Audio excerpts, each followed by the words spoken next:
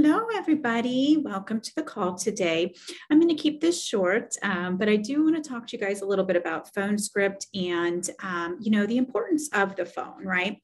So um, a lot of us are, you know, um, familiar with the business, we've been doing it for a long time, or some of us have um, just started doing the business, right? Regardless of where you are, um, I can definitely say that um, everyone usually has like a love hate relationship um, with the phone, right? Um, but unfortunately, that is one of the main um, you know things that we need to optimize in the business um, so that we can see um, success right? Because you know most of the time it doesn't matter where you are or what you're doing. If you're doing you know um, in the field or if you're on the phone doing telesales or if you're doing zoom you have to have um, you know phone time right? And so you know many people have indicated you know this business is about 80% on the phone okay? So what that means is that you know you are going to have to learn to love the phone okay? Um, even with me like i know that um, you know for you know many years um, you know i've had that love hate relationship and i still do. I um, it takes me you know time to get on the phone. Um, there's been periods during my career where i've just jumped on the phone and i've been like this is great. I'm just gonna because the main thing is that you have to understand it is the phone. That's the only thing that's going to get you to be successful. There's no other way. Um, you know, you can send text messages, emails, do whatever, but you know, literally getting on the phone and making those dials and calling somebody, you have a higher rate of success that you're going to be able to uh, transfer. You know, one of your um, leads or your families into a actual appointment so that you can actually really help them. Okay. So um, I hope that makes sense. Okay. So, you know, just so you guys know, I do as well struggle with the phones. Um, I just, you know, some days just don't want to do the phones you know but i know that i have to so i just kind of you know just just take it for what it is and then i just um, you know continue on with my day with you know just picking up the phone after that first time that first initial call that you pick up um, it becomes a lot easier it's like a you know learned um, I don't know, habit, right? Like you just, you know, you feel more comfortable and confident after you do the initial activity. But, you know, the more you put it off, the uh, more you know negativity that builds up inside your mind. And then you um, decide that you know uh, it's you're not even going to get on the phones right? And they'll oh i'll do this tomorrow. But you don't want to do that. You want to literally do it on the days that you need the activity so that you can see the success. Okay so when it comes to the phone scripts, you know, there are many different types of leads that are available, right? And each of us are doing our own, um, whatever we uh, get our hands on, you know, because helping a family, it doesn't matter. There's no, you know, success um, lead, like this lead's it's going to be the best. Every time this person picks up, we're going to book the appointment. That never happens. So anybody that has ever told you that, you know, oh, you know, it's a 100% guarantee whenever you call these people that they're going to book with you. Um, they're not telling you the truth okay? And you want to realize that everybody every agent has um, the same same um, kind of um, objections difficulties things like that when it comes to the phone. It doesn't matter what kind of lead it is. You could be doing final expense mortgage just traditional life insurance. Um, you're going to have people that are going to you know sometimes be mean to you. Um, you know they'll give you tons of objections. Oh i never did that. I mean that's just common you know? Um, and i know for my aspect as well whenever i'm doing um, you know somebody picks like there's a you know the spam you know thank goodness we have you know our cell phones these days and they kind of like um, you know say spam and so you don't have to really pick up the phone. Um, but you know i mean it, it's just part of you know life. So you have to kind of put yourself into the um, person that you're calling families um, shoes right? How do you feel whenever you have somebody call that you don't know? You know what kind of communication gets your attention and what kind of communication makes you just want to hang up the phone right? Because that's another thing that you have to understand when you're doing your phones um, is you know what kind of tone are you using? How are you projecting yourself through the phone are you smiling whenever you're calling the people or are you kind of like you know just being negative this person's not going to even book with me things like that? I mean they can kind of see that. It projects through your voice even though you're not um, saying it or projects through your voice even though you're not they can't see you um, they can kind of maybe feel feel your energies and your tensions or you know your your confidence things like that okay? The one thing that's great about the phone is they can't see you right? They have no idea what you look like. They have no idea what your facial expressions is. Um, you are on the other end and if you get hung up on or if they treat you in a negative way, you just kind of move on. That person's never even seen you, they don't know who you are. And basically, you just move on to the next, right? So, you know, those are some of the things that, you know, are very helpful. You know, of course, objection um, counteracting is also very important, um, but that basically really just comes with your ability to uh, exert confidence in what you're doing, right? So, you know, you can study all of the objections. Um, those are always uh, located for you on you know websites or you've heard tons of other people that have done a phone script seminar um, session and they will kind of go through you know some of the objections and then somebody will role play with them it, it's the standard ones. One of the most um, objections that people get is, I didn't do this, right? Um, you know, and one of the things that we have learned is, you know, you just agree with them. Oh, perfect. You know, okay, Miss Betty, do you know somebody that would have done that for you? Um, and you just come back at, them like, okay, you know, um, totally understand but unfortunately we have got this request in for you. And i'm just trying to you know do my part um, you know as the the representative that's been assigned to you to make sure we figure out who did this and you know making sure that you get your information. And sometimes just you know kind of like acknowledging instead of counteracting it with you know negativity they kind of warm up a little bit right?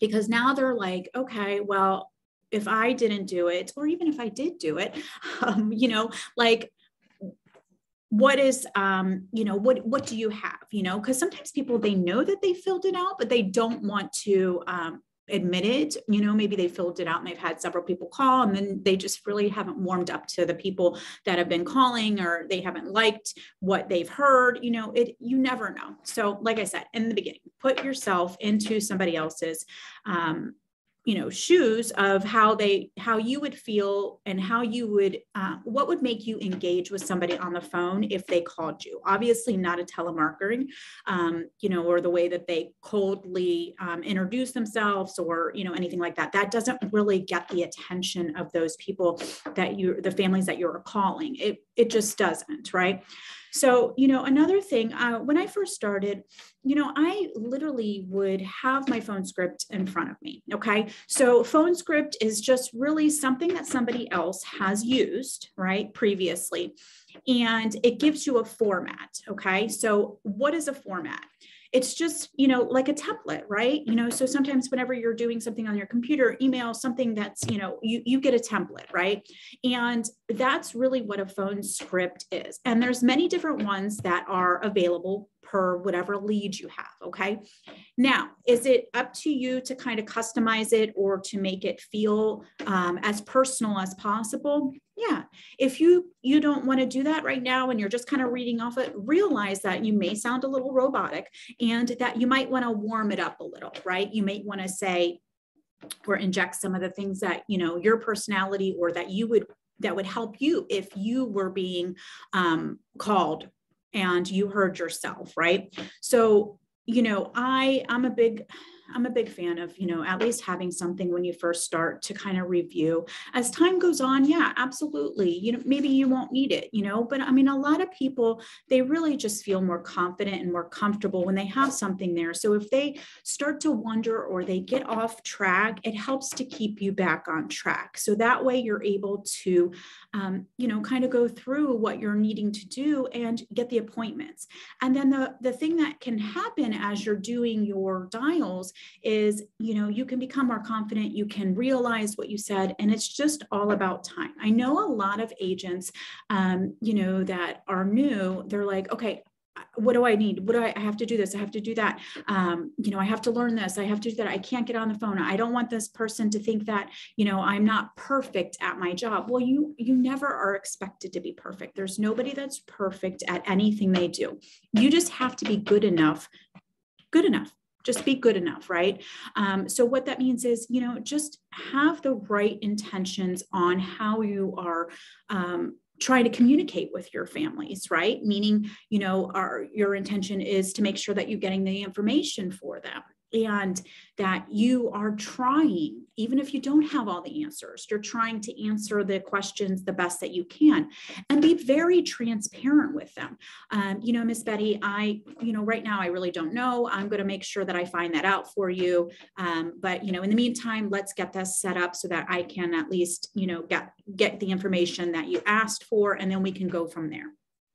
Um, if you're doing, you know, telesales, you know, transition the best you can into setting up a time on the phone or asking them if they have that time to go over everything right now. But in order to get to that point, you have to, um, you know, have an understanding, a, a warmth to you to um, assure that, you know, they, they are, um, you know, kind of understanding where you're coming from and they feel comfortable transcending into the next aspect of your phone call. Same thing with the Zoom. You know, if you're setting up a Zoom, you know, uh, Miss Betty, you know, I'm just really calling today to make sure that um, we're able to provide you with this information that you have requested. I have um, some time available to do a Zoom. Um, do you have an email address or do you have a computer that you can use? Um, that stuff's also going to make a big difference difference on how you you set up an appointment. Somebody that's older and they don't have the ability to get on their, you know, their Zoom, maybe they they just don't care to do it. I mean, you'll find a lot of people in the older community, they just they don't care. They don't want to be bothered with it.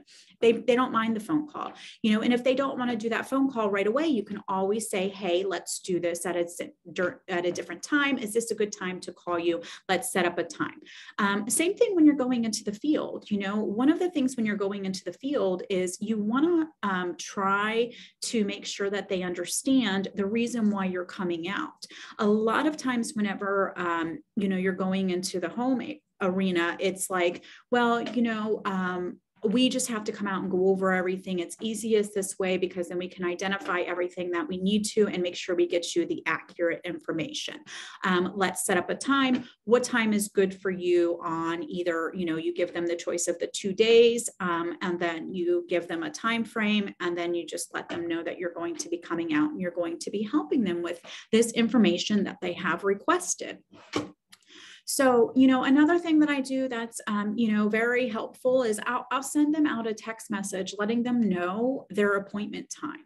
Hey, you know, um, Miss Betty, we have you scheduled for, you know, this time at this time well this day at this time and then you know what it's for. This is for your you know final expense information that you had requested. It'll take about 10 to 15 minutes. Looking forward to seeing you at that time. That way that they know like you're going to be seeing them. If maybe somewhere in the, in the conversation they ended up um, you know not understanding um, that you were coming over at least you can uh, put that in the text message okay? Um, and then from there you know if they decide they want to respond to you you then you can make that choice on how you're going to respond back to them. You know, obviously, if somebody, you know, they cancel you, you know, that's the reason why you want to have a lot of people to see and talk to. So, you know, here at Family First Life, I mean, you you guys see how many different um, agents are setting up a lot of appointments. Why is that? Because they're not attached to the four appointments that they've set, and you know, completely bummed out if those four appointments don't don't pan out meaning like that that person no showed them maybe it was a one legger um, you know things like that because they have more appointments to go to. So obviously the more people somebody has to see the more chances they have of being successful and increasing their income. Now that all goes back to the activity right? So you want to make sure that you're properly doing the activity that you need to be doing to ensure your income goals Okay. So, you know, um, there's tons of phone scripts that are available. Find something that you identify with that is relatable for you. If you need to have it setting next to you, don't feel bad. You can do that. Okay. It gives you a little bit more confidence and a reference point to refer back to. As time goes on, like I indicated before, then you can kind of pull back away from it, or you can interject some things in there that are make it more personable so you feel more comfortable. But whenever you first start, you're not, um, you know, expected to just, you know, go at it and not have any um, kind of um, template to follow. Okay. Because you want to do that. Now, if you're coming from a different company or you've had experience on the phone, regardless of what it is, then you may have an understanding of the phone you know aspect and the phone script and your tone and your tonality things like that just implement that that's it's going to be no different here okay? So i hope this helps. Um, i just wanted to kind of briefly go over um, some of the stuff with the phone script um, you know and how to properly you know adhere to it and what is the best uh, for you. Sorry about my dog. But um, i hope everybody has a fantastic week and i'll talk with you guys again very soon. Okay? All right. Bye